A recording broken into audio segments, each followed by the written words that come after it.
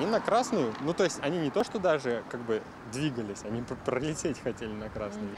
Водитель автомобиля Lexus рассказал, все произошло, когда он выезжал с парковки магазина. По словам мужчины, перед тем, как совершить маневр, он убедился в его безопасности и уже начал было движение, как в него на большой скорости влетел автомобиль Toyota. И они на красную вылетели. А, они на красный ехали? Да.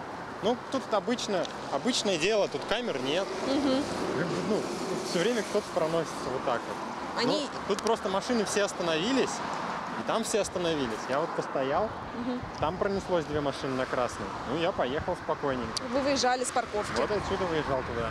Однако водитель Toyota не согласился со вторым участником аварии. Он утверждал, что двигался на разрешающий сигнал светофора и по правилам дорожного движения уступить дорогу должен был водитель Лексуса. Он вообще, по сути, выехал с парковочного места, с прилегающей С прилегающей. Вот вон там светофор. Вот.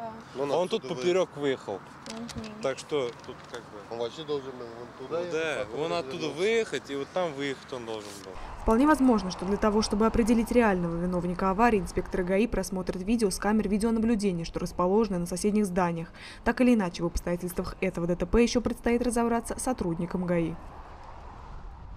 Стал очевидцем события и хочет, чтобы о нем узнали? Присылай фото и видео, а также вступай в нашу группу ВКонтакте «Мобильный репортер 24».